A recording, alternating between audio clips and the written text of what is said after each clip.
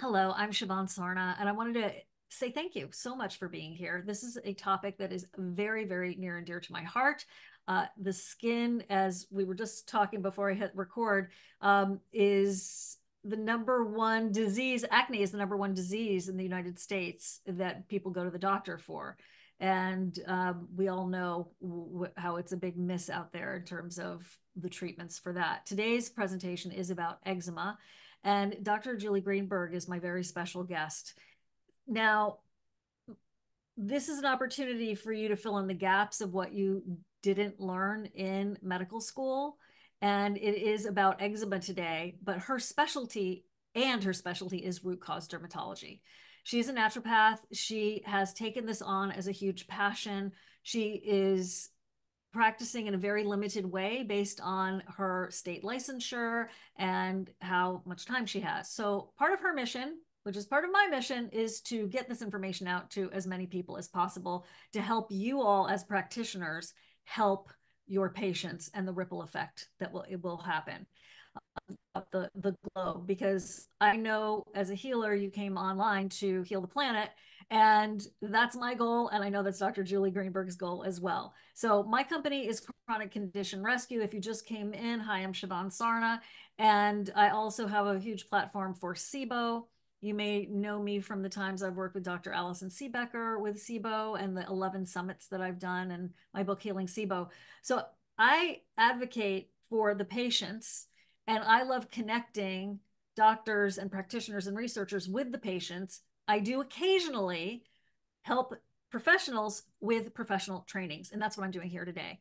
So thank you all so much for coming. If you are a patient and you're like, oh, that sounds good, just wanted to come in and learn about eczema, that's cool. Welcome. Please uh, just, you know, know that it is a professional training and use this for your information. That's great. What I also want to say is that Dr. Greenberg does have a professional training for licensed practitioners. And we're going to be talking about that at the end. This is sort of to celebrate that. This isn't an infomercial for that. But I know, I like, I literally was like, I should become, I should become a, a healer and study with Dr. Greenberg. I mean, like that's how turned on I got. And I'm like, no, Shivan, you are the announcer, the cheerleader, the broadcaster. Like, okay, okay, that, that's my role. So anyway, I'm going to hand things over to Dr. Dr. Julie Greenberg. We'll talk about the course at the end, but it's very exciting and a really big opportunity for those of you who want to help your patients who are suffering with skin conditions. With that, I hand things over to you, my friend. It's good to see you. Thank you so much, Shivan. It's good to see you. And thank you, all of you, for coming. I know your time is valuable as practitioners, and I hope I'm going to give you some really good information today to help you uh, treat your patients with eczema. So let me share my screen. and hopefully you guys are all looking at my screen now. All right, so the topic of this talk is addressing the root cause of eczema, the gut microbiome, and we're going to connect all these pieces. So as Shivan already introduced me, I'm Dr. Julie Greenberg. I'm a licensed naturopathic doctor and a registered herbalist. Um, I practice through my clinic, the Center for Integrative and Naturopathic Dermatology, and I have the courses site Root Cause Dermatology. I got my uh, degree in naturopathic medicine from Bastyr University, and I also hold degrees from Stanford University and Northwestern University. All right, let's start with the pathophysiology. So we're all here as clinicians because, you know, we want to treat the root causes of disease. We want to get down, figure out what's going wrong in our patients and correct that instead of just using suppressive medications. And these are this is what our patients are coming to us for is this root cause medicine. So when I am trying to, you know, break down a disease and figure out what are the root causes, I'm always going to start with the pathophysiology, basically what's going wrong in the body. So let's look at eczema. And you're going to hear me use the terms eczema and atopic dermatitis interchangeably. Atopic means allergic, dermatitis means skin inflammation, and, and these are basically the same thing. So what is eczema? Well, fundamentally, it is a disease of skin barrier dysfunction, right? We know this. We can see in this little baby.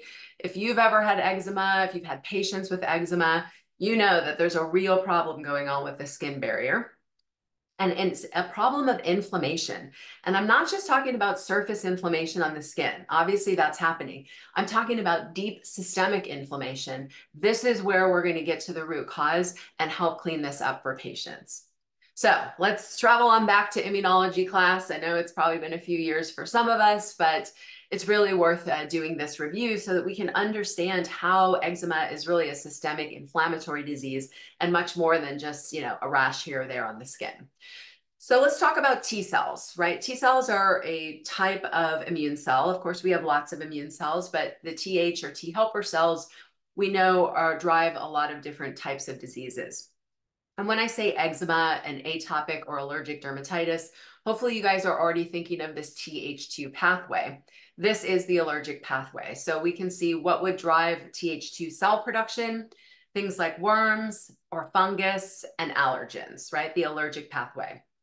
And let's step back and look. Okay, so we've got this T cell. And when we first created T cell in our body, we produce a naive T cell. And the reason is that our body is like waiting to hear information on where the problem is and what the problem is.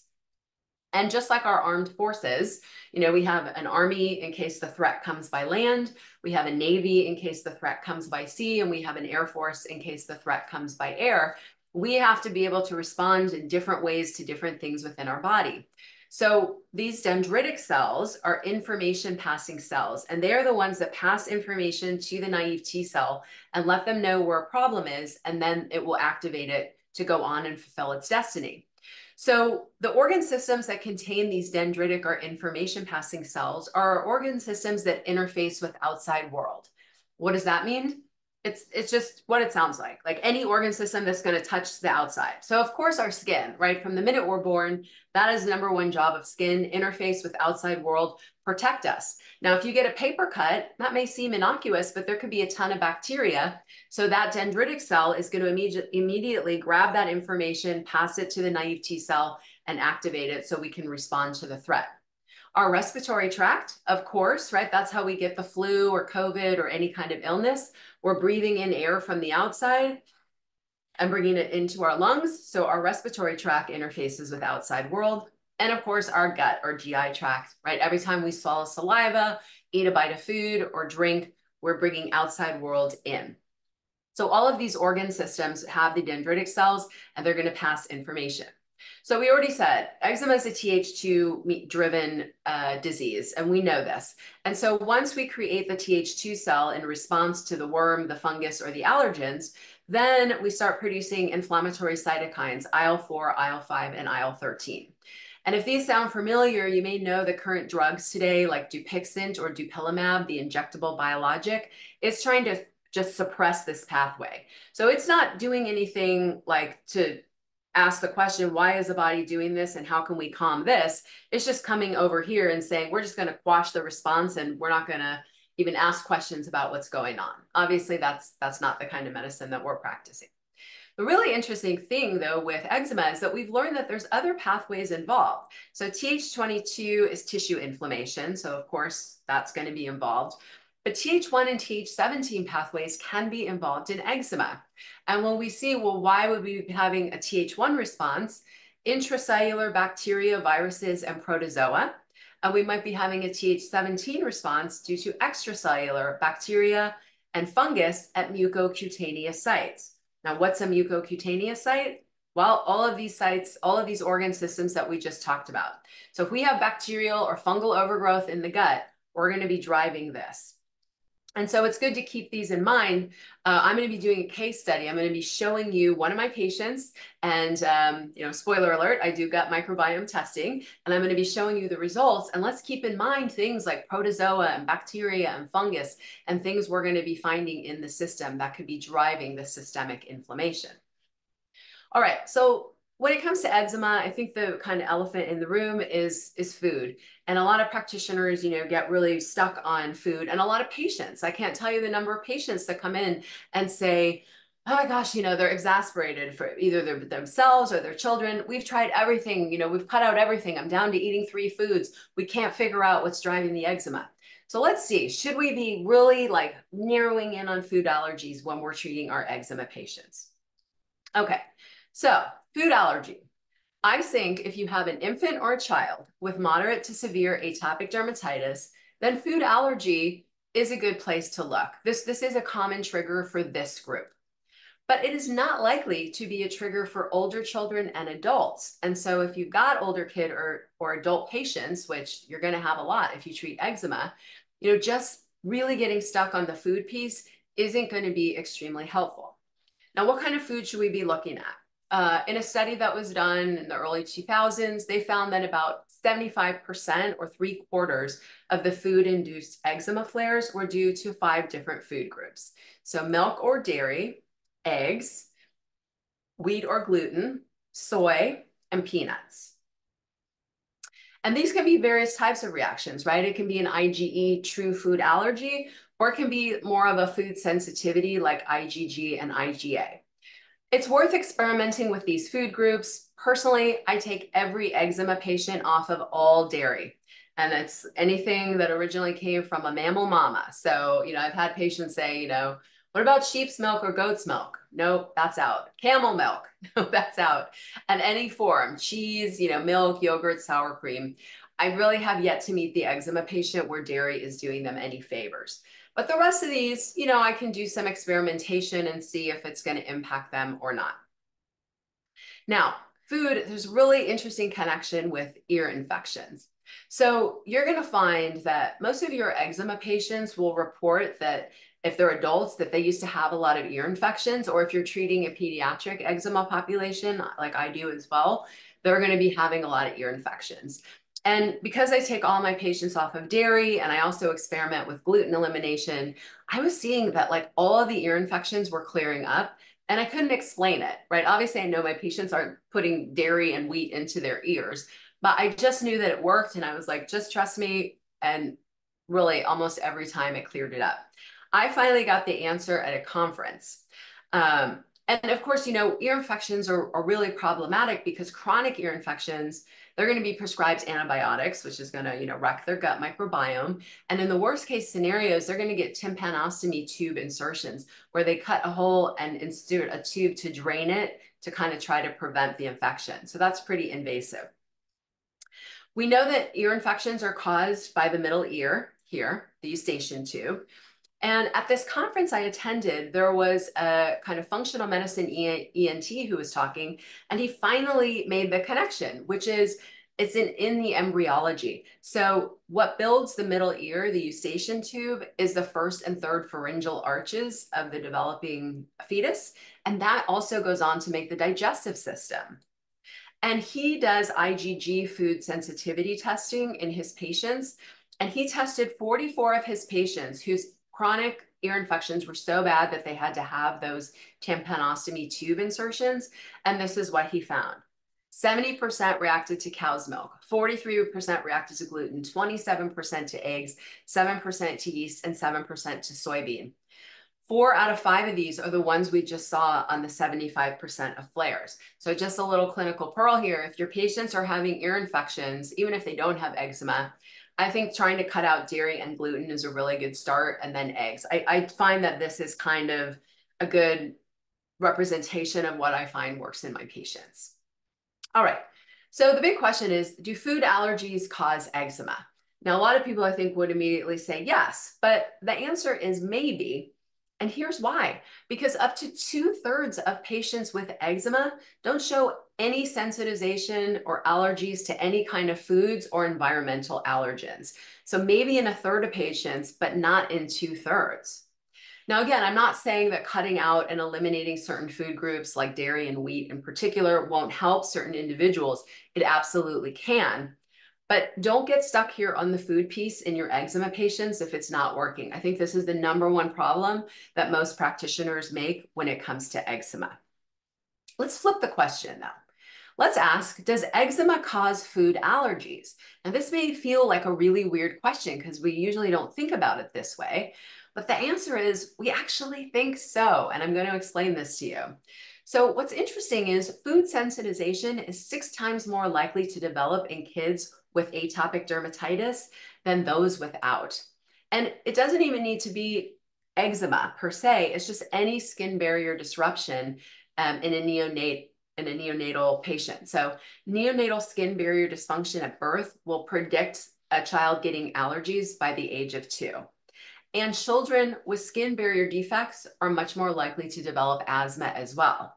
Okay, so what's going on? How can e eczema be causing food allergies or asthma? Well, the answer is a leaky skin. So we're going to talk about leaky gut, and I know you all know what leaky gut is, but maybe you guys haven't heard of leaky skin. Let's talk about it. Let's look over here on the left-hand side of the page. So this is normal skin. This is what we want, a nice intact skin barrier, right? We've got uh, nothing, nothing is getting through. So allergens like mites or dust, uh, food particles, you know, viruses, dander, nothing is breaching this skin, right? We've got an intact barrier. I remember we talked about those dendritic cells at, on the immunology slide, the information passing cells. Well, they're not getting any information because there's no problem. There's no breach in the skin barrier. This is what we want to see on skin. This is the way it's supposed to be working. Now let's go over to this right side with the damaged skin. This is representative of, of course, eczematous skin. And what do we see? That there's barrier disruption, as we talked about. There's holes in it. And so things are getting through the skin that shouldn't be. Mites, dust, food particles, you know, dog dander, all the things that people become allergic to. They get down.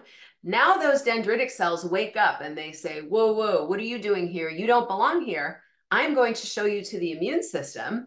And they do. And that triggers that Th2 pathway that we saw on that immunology slide. Dendritic cell passing information to a naive T, naive T cell and activating it. And when this happens, particularly in neonates and very young um, children, this is an improper introduction um, to the immune system of otherwise innocuous things, right? So we now know that we don't recommend putting peanut butter on a baby's cheek that's not the way we introduce it. We introduce it into the mouth because we don't want the peanut proteins to get through this way and the body to decide that that's a very bad, you know, thing and we need to produce a huge immune response whenever we see peanuts. So this is the pathway for creating potentially asthma and food allergies. And of course, eczema is part of what is known as the atopic triad.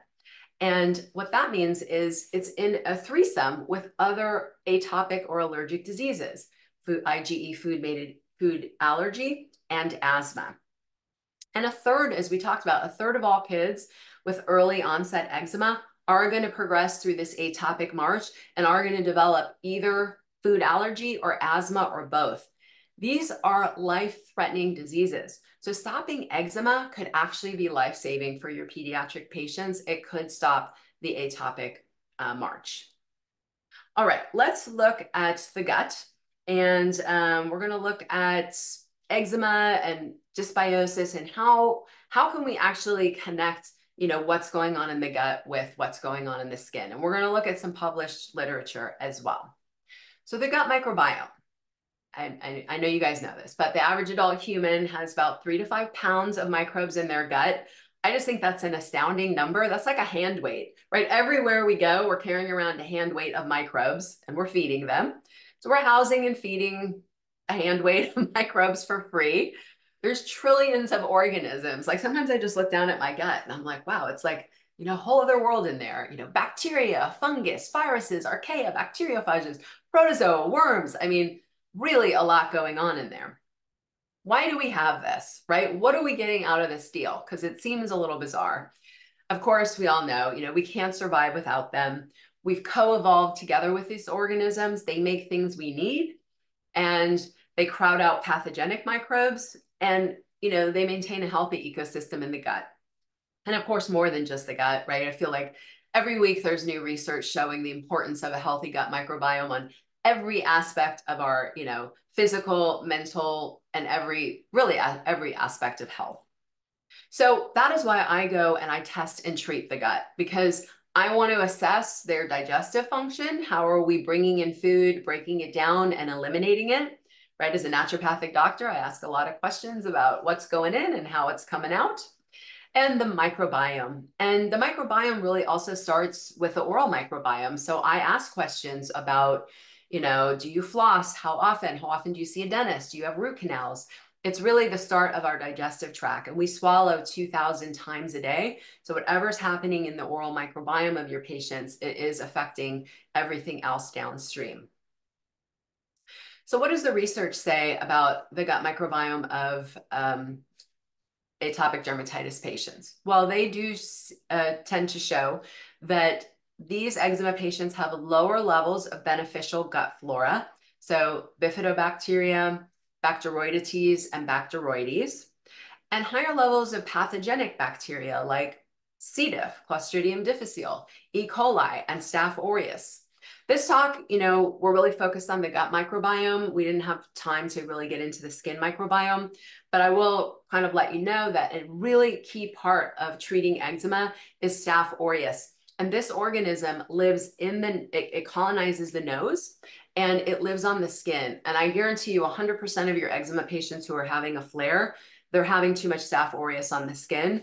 And so kind of as a sidebar, you know, I do treat the nose and the skin, and you do need to pay attention to Staph aureus, but it's also in the gut. And, and this makes sense, right? Our microbiomes in different places speak with one another, they get cross pollinated.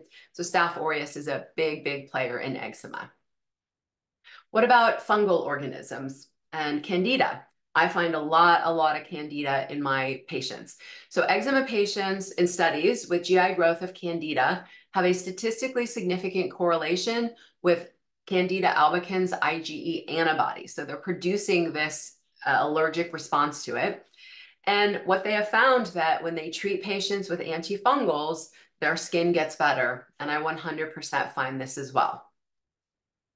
Okay, leaky gut. So again, I know you guys like know all about leaky gut, so I won't belabor this, you know, for too long, but it is um, it is important and it relates to the leaky skin. So it's kind of the same, right? When we looked at the leaky skin, the left side was the healthy skin and the right side was the compromised skin. Same thing here with the gut, right? The left side is the healthy gut and then the right side is the leaky gut.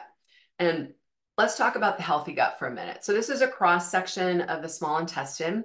And um, what we see up top is the lumen. The lumen is like the hole. So, you know, if you swallowed a little plastic ball, it would just ping pong through you and you could just poop it out, right? So that's the lumen. This is where the majority of our microbes live, those three to five pounds of bacteria. And um, the undigested food is in here. So we're going to digest that. Then underneath it, of course, is our beautiful mucosal barrier in our gut, right? Our largest mucosal organ is really our GI tract. And that is um, protecting these cells of our intestines. They do have tight junctions to also create a barrier, but they have to live protected under the mucosal barrier. And then underneath our gut is our bloodstream. And that makes a lot of sense because the whole reason we eat, other than it's yummy and we like it, is we have to, you know, extract the nutrients up here and then get those nutrients down into the bloodstream. The bloodstream is a super highway to every cell in the body. So every cell needs those nutrients. And so the gut has important decisions to make. It has to let certain things through into the bloodstream, like nutrients, but it wants to keep other things out, like bacteria, you know, or candida and protozoa. And so that's the, the purpose of the mucosal barrier and the tight junctions between the cells. And we see here secretory IgA. I call them the Y guys because they're kind of shaped like a Y. And this is the immune system of the gut. And uh, with a nice, healthy um, mucosal barrier, we're going to have enough secretory IgA. Then we see some keystone species here. We see Akkermansia muciniphila. Uh, this is Latin for loves mucus. So Akkermansia muciniphila is a keystone species. And we can see that Akkermansia lives in the kind of old top layer of the mucus and will eat that away, which is actually a good thing because it's going to stimulate these goblet cells to produce fresh new mucus. So Akkermansia is a keystone or commensal bacteria. And Faecalibacterium prausnitzii is another commensal bacteria. We see here Faecalibacterium is floating around. We feed it fiber and it gives us butyrate. And we're going to talk about butyrate in a minute. That's a short chain fatty acid. So we see, you know, some reasons why we need these good gut microbes. They are going to help maintain this healthy gut. Once again, we see the dendritic cells totally quiet. They're not being alarmed by anything. So the immune system in the gut is calm in a healthy gut. But now when we go over to the leaky gut, we obviously see some big issues. The first is this mucosal barrier has been degraded. Um, that is a problem because now the intestinal cells are exposed to everything in the lumen. That's not supposed to happen. They become inflamed. They cannot hold their tight junctions. They die. And now we see an open pathway into the bloodstream of things that do not belong there. LPS, of course, stands for lipopolysaccharide or endotoxin, right? We hear the word toxin, no bueno. It degrades the mucosal barrier and it drives inflammation. And we can see here some secretory IgA trying to grab onto it. But when you have a leaky gut, there's stuff going to come in, you know, without any sort of secretory IgA or response. Now we see the dendritic cell grabbing that endotoxin, showing it to the immune system. And this, uh, if we think back to that immunology slide, this is a driver of the Th17 pathway. Um, so we can see that any sort of fungal or bacterial overgrowth in the gut, particularly combined with a leaky gut, we're going to have a systemic inflammatory issue. Okay, so I mentioned short chain fatty acids, uh, Faecalibacterium prausnitzii, Roseburia, uh, Clostridia butyricum. These are examples of bacteria that produce butyrate. And butyrate is preferred fuel by our enterocytes. Um, the butyrate suppresses immune responses, and, including those cytokines that we looked at, um, protects against inflammatory disorders and disease, and it enforces tight junctions of the cells. So I use Akkermansia and Faecalibacterium um, as kind of a proxy along with secretory IgA on the stool test that I use for trying to determine if there's a leaky gut situation in my patient. And I've done hundreds and hundreds and hundreds of these tests on patients, and I started to notice a pattern. So here's the kind of classic eczema gut that I find in my clinical practice. First, I find that they have high levels of Staph aureus and Streptococcus in their gut. Those are, of course, two bacteria. I also find that they have high levels of candida, and that's a yeast, a fungal element. And I find this kind of leaky gut picture. So that is a combination of low or no Akkermansia muciniphila, low or no Faecalibacterium prausnitzii, and often a low secretory IgA. But you can also have a high secretory IgA at first, which is there's a lot of inflammation and the gut is trying to respond, but kind of after time, if given enough time, it tends to go low and it just can't mount the response anymore. Then there's a second kind of profile that I can see. Sometimes it's it's overlaid on top of that prior one, which is H. pylori and protozoal overgrowth. All right, so what does the literature say? Is it just me saying that this is what I'm seeing in the guts of my eczema patients? Well, as it turns out, there's a lot of literature that is showing the same thing. And what they show is that patients with eczema appear to have increased intestinal permeability, increased leaky gut. And there's a positive association between the level of leaky gut, like how leaky it is, and how bad their eczema is. It tracks together. And uh, the cytokines that are there with Th2, IL-4 and IL-13, um, they show up. And interestingly, they regulate um, Claudin 2 expression, which is leaky tissues. So our kidneys, for example, they're supposed to be leaky. And this IL-4 and IL-13, we're not sure if this is partially maybe what's driving the leaky gut, because remember those Th2 cells are producing these. So I think that's interesting. Short chain fatty acids, how do they relate to eczema? Well, this whole study, the name kind of says it all. It's um, severity of atopic disease inversely correlates with intestinal microbiota diversity and butyrate producing bacteria. So what this study found was that healthy infants and infants with like mild eczema have higher levels of these butyrate producing bacteria like Faecalibacterium prausnitzii compared to those with severe atopic dermatitis. So again, we see what is happening in the gut is directly impacting our eczema patients and their skin.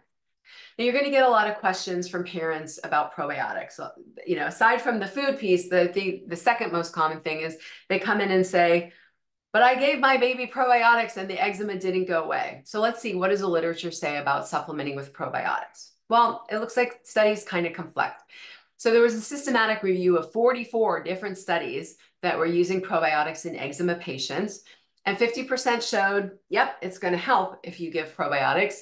And 50% showed, no, it's not going to help if you give probiotics well, what a, this is a coin toss, right? This isn't helpful at all. So what, what is going on? Why are we having some, such conflicting results? I think it's partially related to the fact that, you know, these studies are independent studies. So they're using different strains, doses, and courses of probiotics. But I also think it's this bigger issue that eczema is a very complicated disease. You know, as we see, there's a lot of systemic inflammation, and just throwing a probiotic at somebody is unlikely to really resolve all of these issues. We have to go in and we have to deal with all of the root causes and clean it up. And unless it's very mild eczema, just throwing a probiotic at it is not going to be enough. Now, I do use probiotics, but not just probiotics. So, of course, the goal of naturopathic and functional medicine is, you know, we want to get down. We don't want to just play in the symptom realm, right? We don't want to use suppressive medications like topical steroids or Dupixent to quash the immune response. We want to figure out you know, what are the root causes? What is driving this inflammation in our patients? And let's treat that and clean it up for them so that they don't need to be on medications and they can go on with their life in like a healthy, normal manner. And I like to tell my patients, you know, the minute I get them on my schedule, my goal is to get them off. And what I mean by that is I want to go in, clean things up, teach them how to manage it, and then let them go. And um, if you treat skin, you will be so busy that you also will want to move your patients off your schedule because you will have a long wait list of people waiting to get in. And I really think it's the way medicine should be, you know, that we help patients and then they don't actually need to see us forever. So hopefully I have made the case for you that gut dysbiosis really is a driver of systemic inflammation, really is a driver of chronic dermatologic disease like eczema. So that is why I test and treat the gut. Okay, so let's take a look at testing the gut. What does that mean?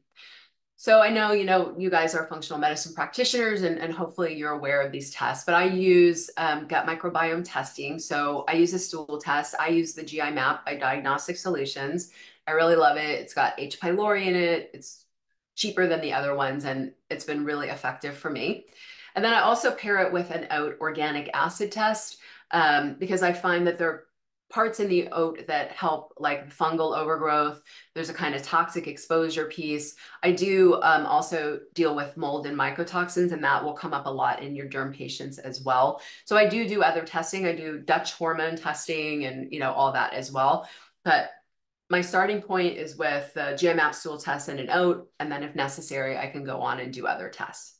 And then I use the results of the labs as my roadmap. Now I can see exactly what the problems are, exactly what I need to clean up. And that is going to help me get the person from point A to point B, which is clear. So let's look at a case of mine and see how this is done. So this is Tina, not her real name. And Tina's a 34 year old female, and she's had eczema um, since infancy. So for the past 15 years, 15 years, she's been using tacrolimus on her eyes and face. And for the past six months, um, we can see her eczema has just been absolutely terrible. And she has been prescribed hydrocortisone, triamcinolone, fluocinolone, betamethasone, clobetasol, and montelukast. These first five are all steroids. And I'll point out that Clobetasol is a class one super potent steroid. What that means is, so there's seven classes of steroids. Class seven is the weakest, like hydrocortisone. Clobetasol as a class one steroid is 600 times the potency of hydrocortisone. It is a very potent steroid. And then Mont Montelukast is a leukotriene inhibitor that she's taken orally. I think we can agree that these five steroids, including the clobetasol and the montelukast and the tacrolimus, are just not working for her. She has severe eczema all over her body. She can't work like this. She has lost her job. Sometimes I think people think, oh, it's just eczema. It's just like a little rash here or there. They don't realize that eczema really can be devastating for adults. And also when it's pediatric eczema, the whole family is affected. When that infant is not sleeping, the parents aren't sleeping, sometimes the siblings aren't sleeping really eczema can be very dramatic and life impacting. And I think we can see that in this patient. So my next steps are I'm going to run the stool test and the OAT for her. And just to kind of give you a little bit wider view, like when I say she has eczema all over her body, she really has it all over her body. Um, and it's it's really heartbreaking. In the first visit, she's wearing kind of like these gloves and she's oozing and she's like mopping up her face that's oozing with a tissue. I mean, it's just really heartbreaking, some of these patients. Okay, so I ran the stool test on her, the GI map, and um, let's see what we got. So first thing we see is that there is H. pylori or Helicobacter pylori. And the way that we interpret this value, 1.0E3, is 1.0 times 10 to the third power. So if we move that three places, it's a 1,000. The lab's cutoff is a 1,000, so it really kind of is high. But I found that any H. pylori, it really causes issue for my patients. And I know there's a debate in the functional medicine and naturopathic world. Is H. pylori bad? But for me, I really think it is. Every time I see it, it's causing problems. Um, it also has correlation with some diseases. For example, rosacea. We know that there's a pretty strong correlation between H. pylori and rosacea. And here's why I don't like it, is that first of all, you know, H. pylori drills into the stomach lining, which we know is inflammatory. And then the stomach is very acidic as it's supposed to be. You know, the pH can be too, that's very, very acidic. If you put stomach acid on shoe leather, it would dissolve it. So that's the right? That's the whole point of stomach acid is to digest food.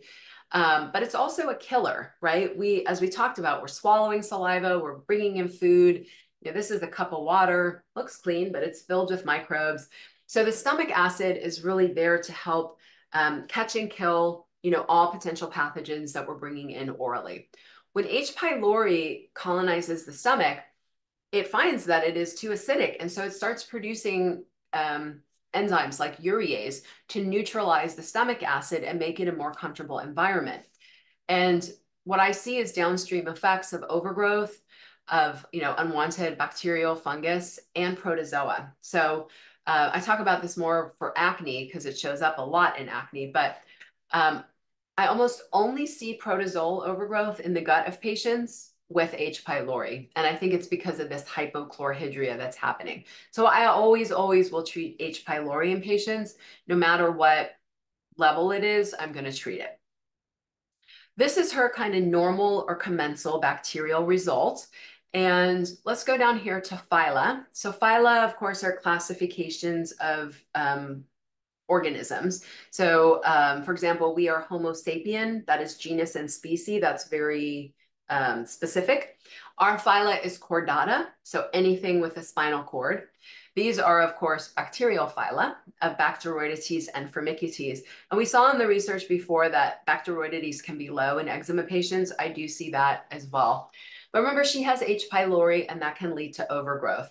So what we're seeing is that she's high on these two phyla. And together, Bacteroidetes and Firmicutes are showing us a snapshot, about 85% of the good gut bacteria. We don't want it high. This is more like Goldilocks. We don't want it too low, but we don't want it too high. So she's got a lot of overgrowth, could be due to the hypochlorhydria. And what we see is that she's lacking Akkermansia muciniphila, right? That's one of those keystone species, the Akkermansia I love mucus. So immediately I'm kind of thinking of a leaky gut situation. This is um, kind of more dysbiotic or unwanted bacterial overgrowth. Uh, so we see the Staph aureus and Streptococcus that is so common in my eczema patients, but we also see Morganella, which is interesting. Morganella is a high histamine producer.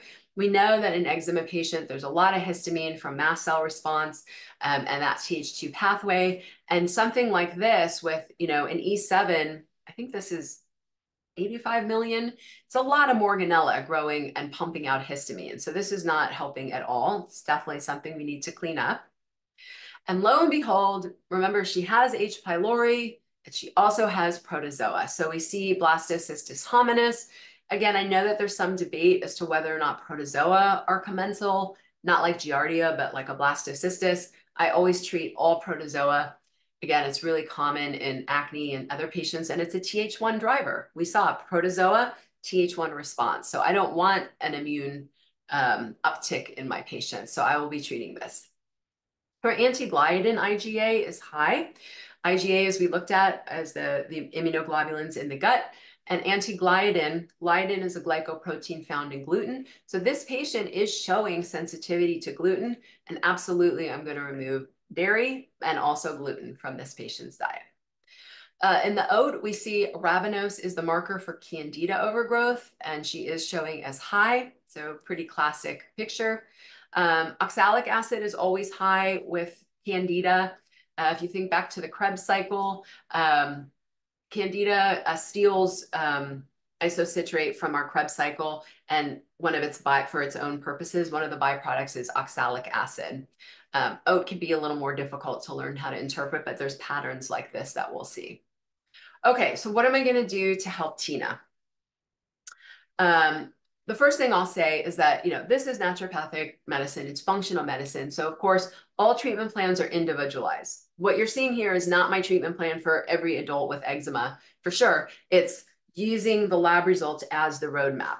And the second thing is that um, I see patients on an ongoing basis every approximately two and a half months until they're clear, until I'm ready to get them off of my schedule. So not all of this was done like all in one thing. It was done over several treatment plans.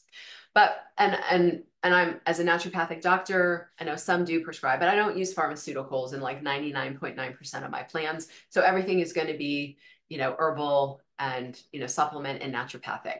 So for H. pylori, you know, I do protocols like things with mastic gum, DGL, black cumin seed. For bacterial overgrowth, you know, all of our gorgeous herbs, coptis, Oregon grape, olive leaf, garlic. For fungal overgrowth, you know, and I love neem, rosemary, pau d'arco, uva ursi. The antiprotozoal herbs like artemisia and black walnut. Uh, there is an Akkermansia probiotic um, that's available, a live strain by Pendulum. Uh, for general support, I put her on a multivitamin to make sure we weren't encountering any nutrient deficiencies. I like spore-based probiotics. I use um, Biocidins Proflora 4R. Um, every adult patient, we work on 35 grams of fiber. This is part of that, you know, we, doctor as teacher docere. I want to teach my patients how to be able to maintain this on their own. And when we look at the gut microbiome, it looks like about 35 grams of fiber per day is a pretty um, key amount, and that tends to help maintain a healthy gut microbiome. And then, as we talked about, we cut out gluten.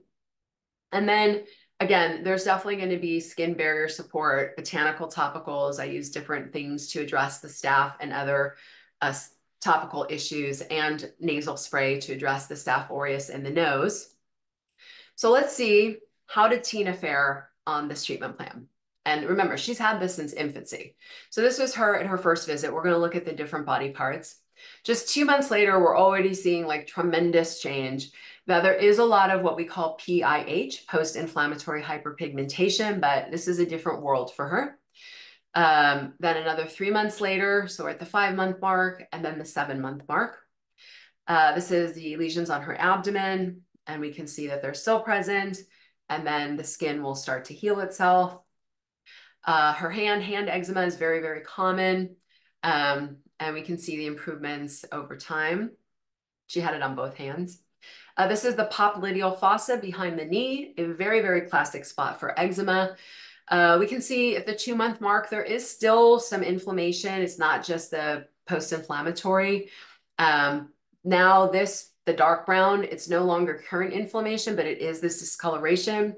Patients with skin of color, like this patient, their one of their main concerns is, you know, is this going to last? And what I find is usually not. Once we stop the inflammation, we clear this up, given enough time, they are going, their skin is going to return to normal.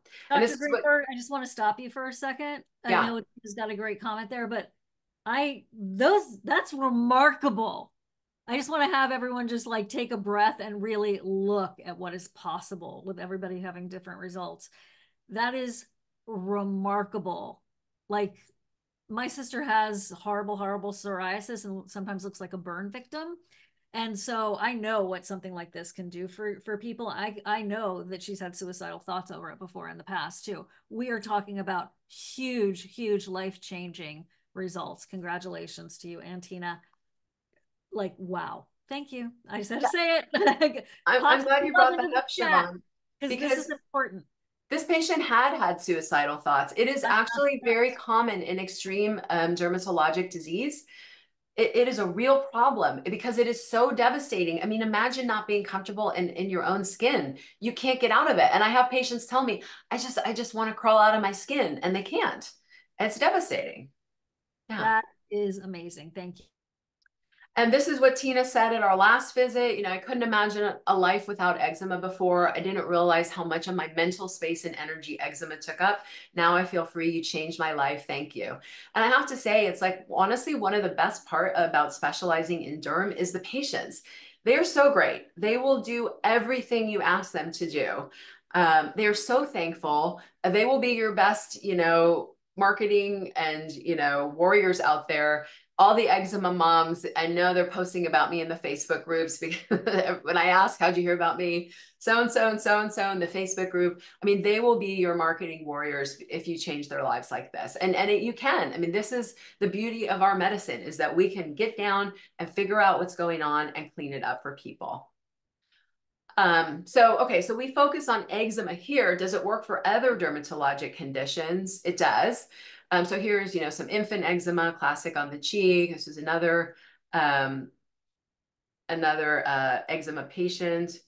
Um, more eczema, eczema, some hand eczema. This is eczema herpeticum. Acne, I, I go about it in the same way. I test and treat the gut. Um, you can clean up deep cystic, nodular cystic acne, psoriasis. You know, you can clean up um, psoriasis as well. This is a different psoriasis patient. This is guttate psoriasis on the back um, scalp issues. I do alopecia areata. It works great on alopecia areata. Um, so as Shivan mentioned, I do have a course. It's a root cause functional dermatology course. And um, there's 35 case studies. And, you know, this one, you know, it's just very kind of like general. In the training program, there's five case studies for each disease. So we cover acne, eczema, seborrheic dermatitis, psoriasis, rosacea, hair loss, and keratosis pilaris. And for each of those five cases for each disease, you're going to see the exact treatment plan that I've given at each visit, both oral and topical. And it's really extensive training on interpreting the GI map, the OAT, the mycotoxin, the Dutch, how do you treat things that you see in the gut, like H. pylori and SIBO? Um, so you really get a lot on this kind of extensive training. Um, there's two options. So there's a four-month mentorship cohort course that's just starting. And the benefit of this is if you're a licensed practitioner, you're in a live group. There are live sessions with me every other week. Um, we go through a lot of really great information. For example, um, I treat all via telemedicine. So one of the sessions, I really go in depth, like how can you treat chronic derm via telemed? It expands the base of um, patients that you can see. I do a whole course on my business model. Um, you know, I, I have pretty expensive visits. It's a thousand dollars for my first visit. That does not include 600 in labs. I was closed to new patients half of last year because I was at capacity. And then I reopened this year and I'm already closed again, which is also why, as Shivan said, I have this course because we really need more people out there doing this. There's also a self-paced course, and this is really for non-licensed practitioners who still can order labs, so like functional nutrition professionals. Um, here's a quick look at the syllabus. So the part one is all the fundamentals, all the foundational stuff that we're gonna need when we get up and running with the derm section. And there's general derm, you know, topical, skin of color, pediatrics, skin aging, um, gut overview, liver overview, and then we get into the diseases. And here's some testimonials from past um, students who have taken it. They have an exit survey 100% of students who have taken the course have said that they would recommend it to colleagues. And I've had everyone from dermatologists. So here is uh, Dr. Gershenhorn, who says, you know, it's the best education I've experienced as a dermatologist. It's been life-changing. Nurse practitioners, you know, priceless pearls, tools, and protocols to help my patients. Um, CNS and registered dietitians. It's the first time in a while I felt really inspired again and nurse practitioners. You know, this has been an amazing experience. Um, NDs, you know, DOs, DCs, MDs. So really um, TCM, licensed healthcare practitioners.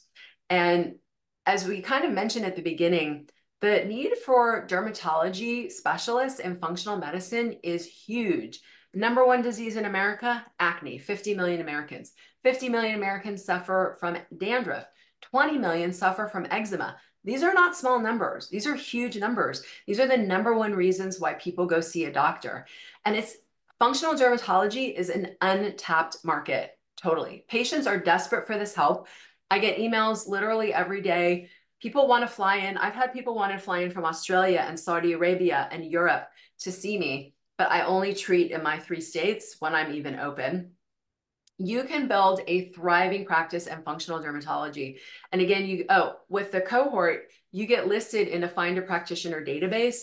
And I send patients and students who have taken the course are getting a ton of new patients from the database. They really are. And like I said, derm patients are really the best patients you, you could ask for. So this course is a fit for you if you have a passion for dermatology, if you're looking for a cash-based specialty, if you're looking to grow your practice, you want to treat patients who are excited to do this and will follow your protocols. They want to pay cash. You want to see your patients improve and you want to have fun again treating patients. So I think we have some time for questions and I'd be happy to answer some. First of all, yeah, let's go big screen here so we can see your your face. Thank you so much. That was really phenomenal. And I'm very, very excited about this because everything you just said was true. Those results were amazing. Um, and Clarissa, my my friend and helper here, has put the information about the course in the chat for professionals or non-licensed professionals who can still order labs. That right. would, be the self-paced course that you can do. And if you are able to, if you wanted to do it, you can use the code Shivan and that will get you $200 off. And that is up through um, just, I think it's tomorrow night. So Dr. Greenberg has never discounted this before. She's actually never worked with anyone else to do this. It's always just been on her own. But when I met you through through uh, Jen Fugo, our mutual friend, and because Jen texted me and was like, "Do you know Dr. Julie Greenberg?" And I was like, "Nope." She goes, "Well," because she knows I'm really into skin, and um, we hit it off. And I was like, "Oh my gosh, yes, let's do this. I need to tell people about you and about what you offer." So then I then I asked Dr. Greenberg for a discount for the people who came in through um, through my community, and I really appreciate that. So I appreciate the extra, you know, extra special love. Um, let's get to some Q and A's, and here we go. So, question about the what? How how long did Tina sustain that? Does she have to stay on um, supplements for the rest of her life? How how are they doing? No, no. My goal is always to have patients again, you know, go about their lives. And so we, we ramp down on things and see how they're doing. Um, I usually give patients the option whether they want to do the retesting or not, or just see how it goes. She just wanted to see how it goes. Because again, she hadn't worked for a while. So, you know, she didn't have just yeah. money at hand. Um, so we ramped down and um, yeah, I mean, as far as I know, she's still doing well. I haven't, I haven't heard from her in uh, like a year or two. And, you know, usually patient, if you can heal them, they will come back to you if they're having trouble. So, um, you know, again, with the training, like she knows 35 grams of fiber a day, she knows the topicals, she knows to get on top of things the minute she sees something. I mean, all of this is is part of the work that I do with the patients while they're on board. But no, she doesn't need to be on, you know, any sort of stuff. She just needs to maintain the work we've done. Amazing. Uh, I think you've already covered this. Kim is asking, what about milk for infants? Yeah, so it, it is a little bit tougher when they're once they hit 12 months, it's much easier because a world of a lot of different formulas opens up. Um, obviously, you know, mom's breast milk is the best, but then I'll, I'll take mom off of like dairy and gluten and stuff. If that's not an option, um, you know, I'm not a pediatrician. And so at that age, I do have them work with their pediatrician. There are some, you know, non um, dairy formulas out there. Um, but it does get a lot easier once they hit one year and then a whole world of formulas opens up to them. And what is the cost of the course? So the um, the cohort is 8,000 if paid one time or 8,500 if paid over the course of four months. Um, and the self-paced course is 5,000. You don't get listed in the Find a Practitioner database. You, you don't have the cohort and all the Q&A and extra stuff as well. Um, And again, with the cohort, you get listed in the Find a Practitioner database and have the opportunity to have patients who are looking for this exact treatment find you. And that's also just for licensed practitioners. Yes, that one is for licensed practitioners only. The go at your own pace is for non-licensed, but you can order like GI map and the like. Okay. Exactly. Okay, uh, Rukshana, I have been doing nutrigenomic testing and find certain SNPs for skin issues. Would this be a possible tool? Do you deal with genetics at all? I don't. I mean, there we didn't get into the topicals again. There's something called filaggrin, which is a protein in the skin, and there's an FLG filaggrin gene that a lot of people with eczema, particularly those with early onset eczema, have a filaggrin gene mutation. But with the gene stuff, you know, and what I tell patients is, you know, genes load the gun, but environment pulls the trigger. I think people become a little fatalistic, like, oh, well, you know, my mom had eczema, my grandma and my dad and brothers and sisters. And so it's like, oh, of course I'm going to have eczema. And no, you know, that's not our medicine. Our medicine is the gun may be loaded, but we're not going to let the environment pull the trigger. So I don't do like SNP or genetic testing on patients, um, but I can assume that the ones who have had early onset eczema probably have a filaggrin gene mutation that's kind of making them more prone to it. Got it. Um, do you recommend your people take Saccharomyces boulardii, Akkermansia muciniphila therapeutically as an intentional probiotic? So I really only use the Saccharomyces boulardii in cases of like pretty bad diarrhea because it is a yeast. And as you've seen, most of my eczema patients are having fungal candida overgrowth. So I think, you know, there's kind of juries out and some people do react to Saccharomyces boulardii. So unless there's really a diarrhea problem, I don't really use it. Uh, but I do use the Akkermansia muciniphila, particularly in the patients who, you know, we can see have none or low. Um, so any, what if the people, what if the students want to continue with ongoing training after the cohort? I mean, it's really a comprehensive uh, four month, but there is, as part of the cohort, um, you're part of the um, root cause dermatology Facebook group where all the other alums are there and we get together and uh, students keep, graduates keep asking and I keep saying, I am going to do something for the alums where we get together in a forum and, and we're going to be doing some sort of work together. But right now there's, there's the closed Facebook forum for graduates. Okay. Um, what do you do for, I'm wondering if chronic anal fissures could be related to this. My son has had them for over two years. They haven't healed after trying so many things, including restrictive diets. So, you know, I don't know, anal fissures, you know, is a little bit, that's not like a typical thing that my patient is dealing with. So I'm not sure, you know. You know who could help you with that? I bet. I, I don't know. Okay, first of all, I don't know. But look up Crane Holmes, H O L M E S in Portland, Oregon. He or Ilana Gurvich. Ilana Gurvich, of course, the queen. Um, you know, but Crane, uh, the reason I'm saying Crane is because I know he, he works with hemorrhoids a lot. Oh, okay. So that's uh he's he's focused on the butthole. And um God bless him. God bless him. uh, like in my new gut summit, like I literally said, would you please come on and just talk about hemorrhoids? And he did. God bless him. So anyway, that's what I wanted to tell you that he's in Portland, Oregon, and Dr. Ilana Gurvich is also in Portland, Oregon. They're both geniuses. Um, okay, so where's the Q&A box? It's in the bottom. Hold on. Okay. Isn't I think we've so people are saying, does the eczema seem to come back? No.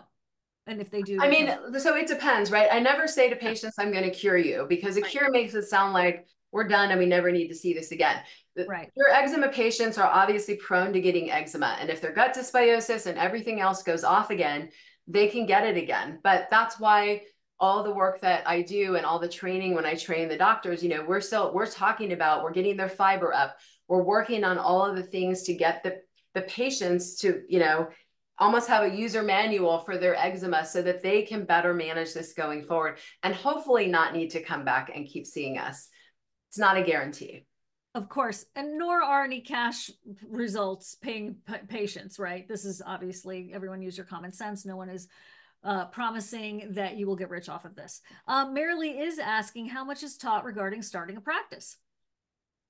So um, I don't. It, the it's not a business course, but I have a lot of practitioners who are, um, for example, they're like MD dermatologists or, you know, NP, more conventionally trained, they're working in more conventional settings, but they've been passionate about functional medicine and are taking the course. And we do talk a little bit about how you can, because I teach telemed, because I have a whole session on telemed and a whole session on my business practice, we do talk a little bit about, okay, how are you going to, you can set up your telemed pr practice grow that out while you're still working in your conventional job and getting a salary and then transition over when you're ready. So there's a lot of uh, practitioners in the course who are doing that kind of a transition or you know maybe we're naturopathic doctors working for somebody else who want to go out on their own um, what about uh, patients post accutane that have developed uh, eczema that's not something I see that often. So obviously, if they were on Accutane, they they were on that. I'm assuming for acne.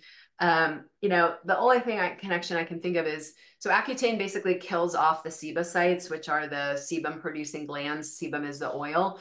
Um, people do get like dry lips and they can get dry skin, but is it really eczema, like a Th2 pathway?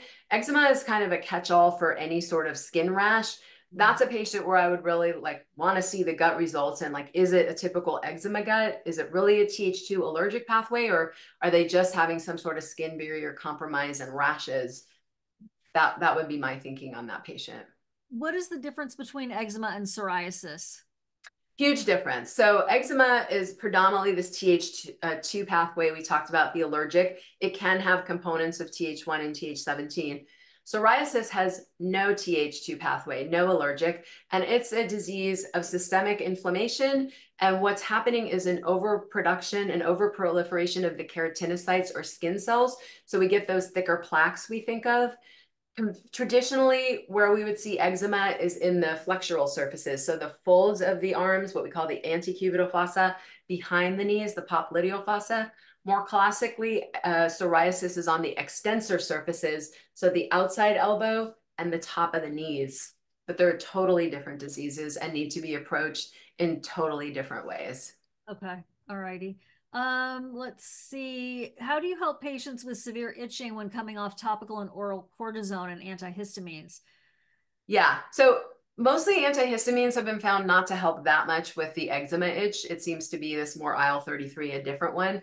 But with topical steroids, there is something called topical steroid withdrawal syndrome that we do not want to throw patients into. So of course I teach this very, very, very slow ramp down. I will never just pull a patient off of topical steroids or even the calcineurin inhibitors like tacrolimus or the PDE4 inhibitors like Eucrisa, because you will throw someone's system into distress.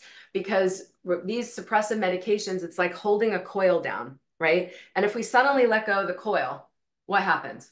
Boom, right? It springs up even higher with all that stored up energy. So I do very, very slow and gentle ramp downs on those types of topicals while we're healing these underlying systems and they will naturally be able to use less and less and then there's a visit where it's like okay are you still using the hydrocortisone no i can't remember the last time i used it great right cool.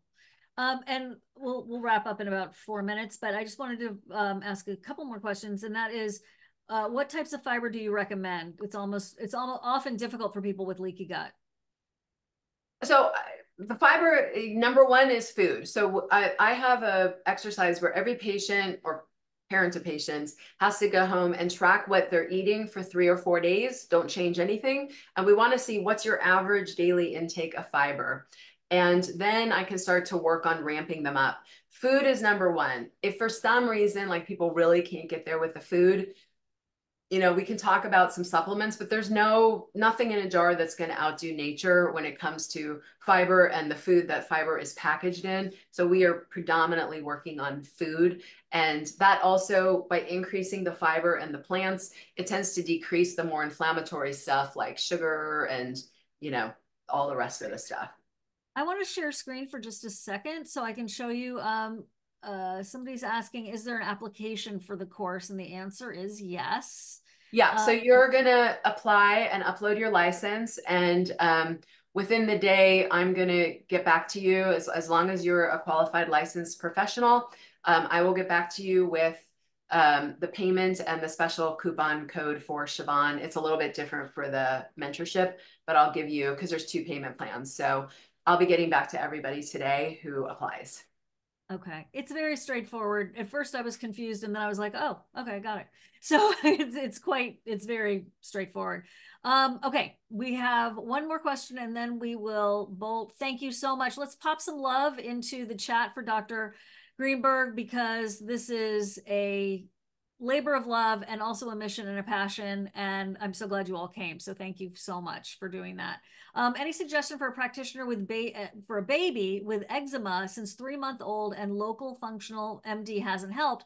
Mom is gluten free and dairy free except for grass fed butter. Yeah, I would go test that baby's gut and yeah. um, figure out what's going on. I can pretty much guarantee you the, the classic infant, infant gut is, you know, no Akkermansia, no faecalibacterium, low secretory IgA. I know that baby's got a leaky gut. You can see what else is going on in it. I do a lot of pediatrics in the course. I see a lot of pediatrics. Obviously, there's a lot of pediatric eczema. Um, it's definitely treatable. I've seen patients, infants with failure to thrive because the eczema has been so bad. They, they need to get a handle on all of this overgrowth and dysbiosis and and of course the topicals that I teach and infants do great. Okay. Do you treat is it vitiligo? Vitiligo? Vitiligo? Yeah.